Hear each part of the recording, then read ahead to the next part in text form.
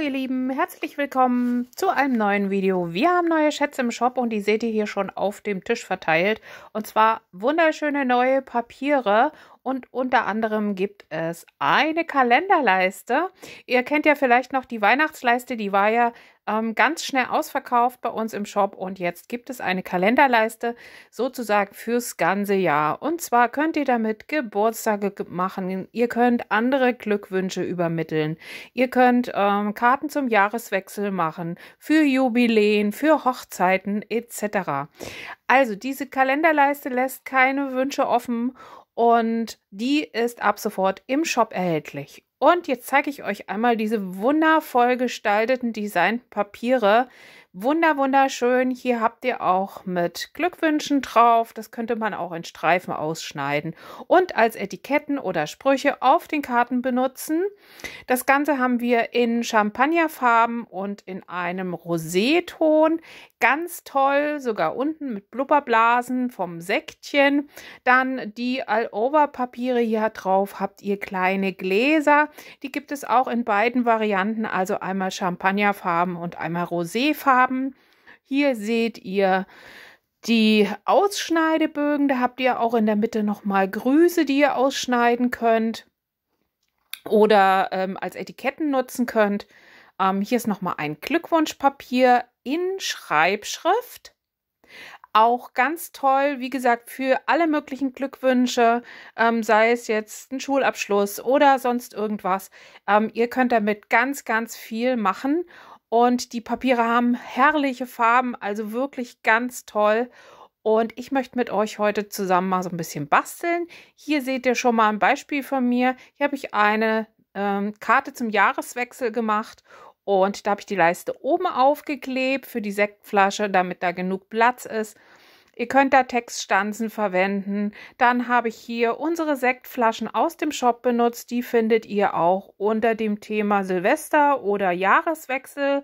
Ähm, es gibt dort diese drei verschiedenen oder den Kleekranz, den ihr einsetzen könnt, verschiedene Folien und wir legen jetzt einfach mit der Karte los. Die Grundkarte hat 21 mal 21 und wird in der Mitte bei 10,5 gefeilt. Es wird eine DIN-Lang-Karte.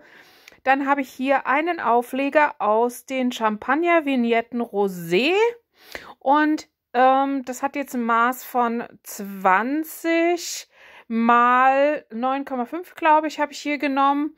Das könnt ihr aber individuell anpassen. Dann habe ich hier einen Streifen geschnitten, ähm, der ist 2,5 cm ähm, breit und lang wie der Aufleger. Also das müsst ihr dann ähm, so euch zurechtschneiden, wie breit euer Aufleger ist. Ich benutze heute diese kleine Sektflasche, die ich auf den Schieber ähm, aufkleben möchte. Dazu habt ihr oben auch noch diesen Sekt, der da raussprudelt und diese tolle Textstanze Prost.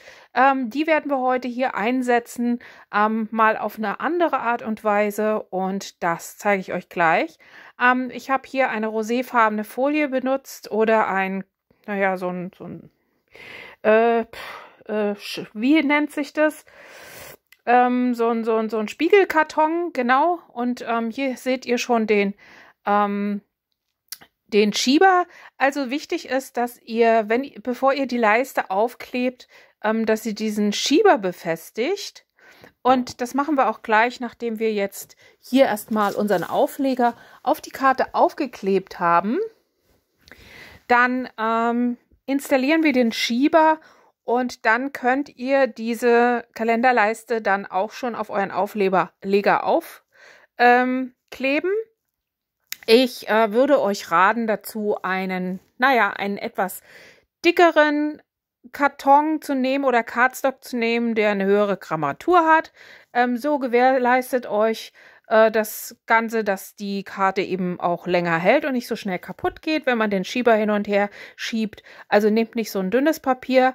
Selbstverständlich könnte man ähm, die Leiste auch aus dem Designerpapier ausstanzen. Das geht natürlich auch, wenn sie unauffälliger auf der Karte sein soll. Und hier seht ihr den Schieber. Der wird jetzt einfach hier durchgeschoben so wie ich euch das zeige. Und hinten habe ich ein kleines Stück Sticky-Tape dran gemacht. Ich hatte ja schon mal ein Video gemacht mit der Weihnachtsleiste. Das könnt ihr euch auch noch mal anschauen. Und dann klappt ihr das einfach hinten rum und verbindet diese beiden Teile und klebt es zusammen und schon ähm, ist der Schieber ähm, an der Zahlenleiste befestigt und ihr könnt ähm, das Ganze aufkleben. Also den Schieber. Probiert es nochmal, ob es dann eben auch zum Hin- und Herschieben ist. Und dann sucht ihr euch ein schönes Plätzchen auf eurer Karte, sei es oben oder unten oder auch in der Mitte. Ähm, das ist eurer Fantasie überlassen und dann klebt ihr das Ganze fest. Ähm, hierbei müsst ihr darauf achten, dass ihr wirklich nur an den äußeren Rändern den Kleber auftragt und an den Seiten und das auch dünn, also nicht so viel Kleber drauf, sonst klebt ihr euch euer Mittelstück mit fest. Und dann lässt sich da natürlich nichts mehr hin und her schieben. Und wenn es einmal auf der Karte ist, dann ist es halt auf der Karte. Und dann ärgert man sich. Und deswegen sage ich euch das jetzt hier nochmal, dass ihr da wirklich drauf achtet und auch sauber mit eurem Kleber arbeitet. Nehmt wirklich da ein bisschen weniger und ähm, ihr bekommt da auch ein tolles Ergebnis auf eurer Karte. So, ich klebe das jetzt in den unteren Bereich ähm, bei meiner Karte und dann lege ich mir das erstmal auf und dann seht ihr oben und unten diese Schlitze und da müsst ihr, bevor das Ganze anzieht, bevor der Kleber anzieht, das so ein ganz kleines Mühe nach innen ziehen mit den Fingern, ähm, damit das ein schönes, sauberes Bild gibt und probiert auch nochmal, ob euer Schieber funktioniert und dann ist es eigentlich auch schon getan, bis auf die Sektflasche, die wir dann noch aufkleben wollen, aber das machen wir später. Jetzt kommen wir zu dem Prost, was auf die Karte soll. Und das möchte ich mal so ein bisschen individuell anordnen. Also ich möchte nicht einfach nur die Textstanze benutzen. Das kann man natürlich auch. Wenn die Karte schnell gehen soll, dann stanzt ihr euch die Buchstaben einfach aus. Ich möchte hier noch einige Elemente aus dem Cardstock Champagner Vignetten Rosé Champagner verwenden. Die habe ich mir hier ausgeschnitten.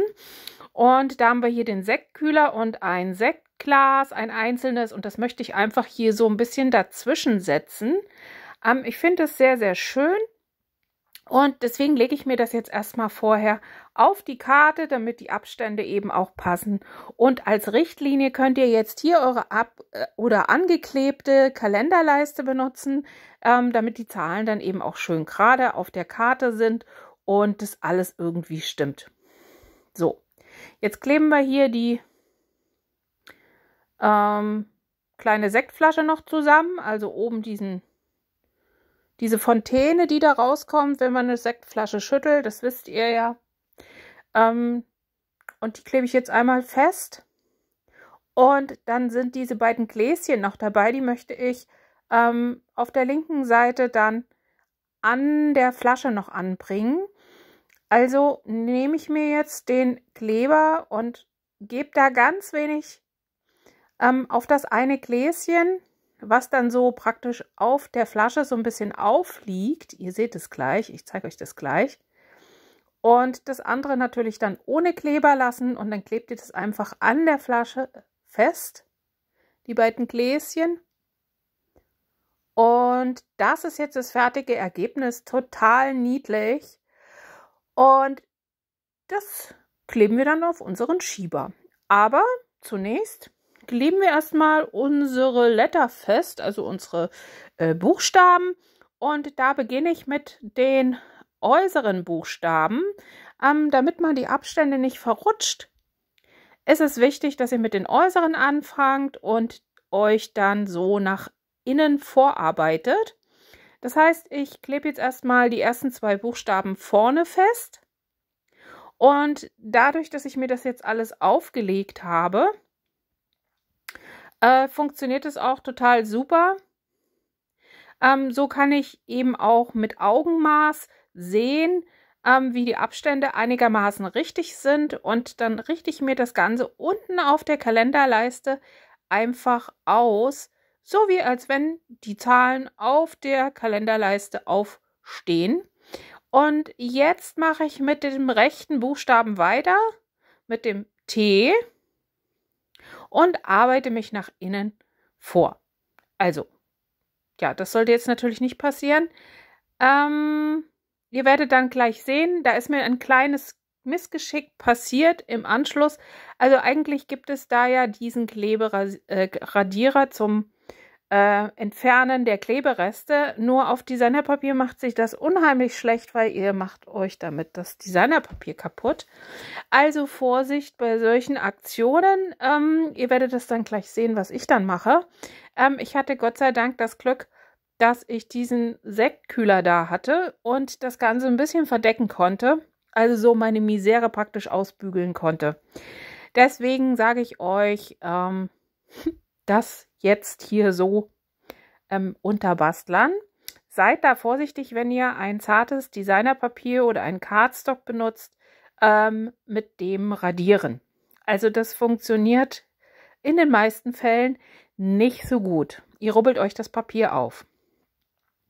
So, also jetzt habe ich fast alle meine Buchstaben festgeklebt und ich finde es total schön so wie es angeordnet ist. Man könnte aber auch den Sektkühler und das Glas nach außen ziehen und könnte das Brust jetzt zusammen aufkleben. Also jeder wie er mag.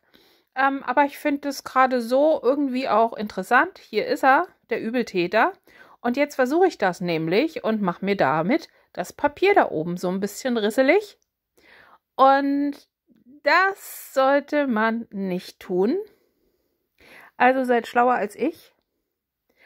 Und jetzt probiere ich nämlich schon, ob das genau das abdeckt. Aber Gott sei Dank hatte ich das Glück.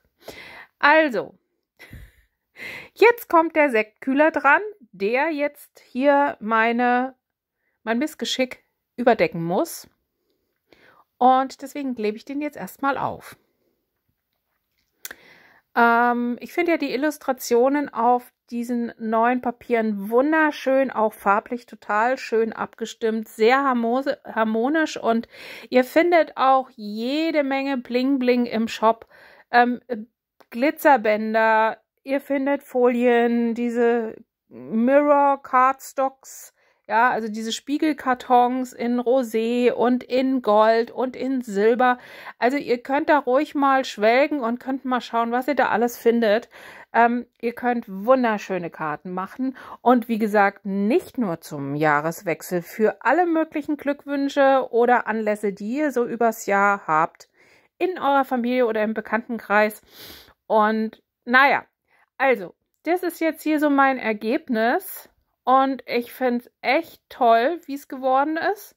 Jetzt müssen wir natürlich hier unseren Schieber noch aufkleben. Hier habt ihr die Wahl, ihr könnt den so ein bisschen schräg machen, so wie ich das jetzt gleich festkleben werde. Oder ihr könnt den auch gerade draufkleben. Hier gebt ähm, bei der schrägen Variante auch nicht zu viel Kleber auf den Schieber, äh, damit das nicht auf der Leiste landet. Und dann setzt ihr die kleine Sektflasche einfach oben drauf wartet einen kurzen Moment und dann ähm, müsste das Ganze auch schon kleben auf der Karte. Und ja, das ist mein Ergebnis. Und ich finde es einfach nur zauberhaft. Eine wunderschöne Karte und auch eigentlich relativ schnell gemacht mit tollen Produkten. Ihr braucht nichts kolorieren, ähm, einfach nur so ein bisschen was ausstanzen, ausschneiden. Und jetzt kommen hier noch ein paar Tautropfen drauf. Ähm, die bekommt ihr überall im Internet. Ähm, wir haben aber auch so ein Glitzer Troppis ähm, im Shop. Da könnt ihr auch gerne mal schauen in verschiedenen Farben. Ähm, schaut mal, was euch gefällt. Ansonsten, ähm, wie gesagt, bekommt ihr die hier überall. Dann gebt ihr einfach mal Tautropfen ein oder Wassertropfen äh, zum Aufkleben und dann findet ihr die, die sind total goldig. Ich finde die auch für Unterwasserkarten oder für dieses maritime Thema total toll. Und deswegen benutze ich die ganz viel. Und die dürfen natürlich hier auf meiner Karte nicht fehlen. Die äh, mache ich jetzt hier so zwischen die Buchstaben. Oh, jetzt sieht man meinen Kopf ein bisschen. Dafür muss ich mich entschuldigen. Das ist manchmal, wenn man sich so ein bisschen nach vorne beugt, ähm, fängt die Kamera das ein. Ich hoffe, ihr seht trotzdem, was ich mache. Und dann klebe ich das jetzt hier einfach mal so zwischen die Buchstaben. Und das ist so, ja, das Highlight meiner Karte, um die Karte noch ein bisschen schöner zu machen.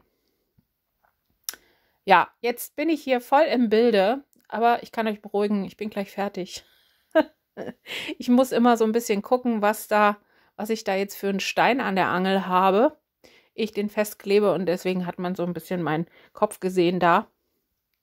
Aber wie gesagt, wir sind jetzt fertig mit dem Ganzen und ich bin total zufrieden mit der Karte. Ich finde es total toll und ähm, ich hoffe, ich habe euch damit ein Gefallen getan und ihr seid ein bisschen inspiriert für diese Kalenderleiste, wie es so aussehen kann. Natürlich lege ich euch noch die anderen zwei Beispiele mit dazu.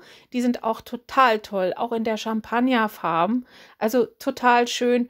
Und ich wünsche euch ganz viel Spaß beim Nachbasteln. Lasst mir doch gerne einen Kommentar da, wie ihr die findet und ähm, zeigt uns unsere, äh, eure Beispiele dann vielleicht mal auf den Social Media Kanälen.